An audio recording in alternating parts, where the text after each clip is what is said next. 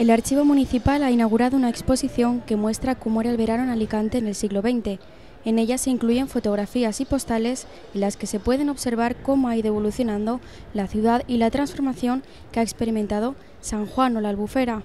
inauguramos eh, la exposición de verano en Alicante, cómo, cómo, los alicantinos y los veraneantes desde principios del siglo XX hasta los años 60 y 70 disfrutaban en nuestra playa del Postiet con los famosos y conocidos balnearios. Llama mucho la atención en las imágenes ver las ropas que, que vestían, que hasta incluso cuando iban a la playa ya iban elegantes, iban con sus trajes y con sus vestidos muy elegantes. Podemos ver también fotografías que llaman mucho la atención porque vemos ese cambio y ese proceso que, han, que tienen nuestras playas. Las fotografías se pueden observar a través de ocho ventanales exteriores del edificio de la calle Labradores, así como en su interior. Una de las curiosidades que se pueden ver es el bando dictado por el alcalde Miguel Pascual de Bonanza en 1847, en el que se establecía la prohibición del baño a personas que no iban adecuadamente vestidas.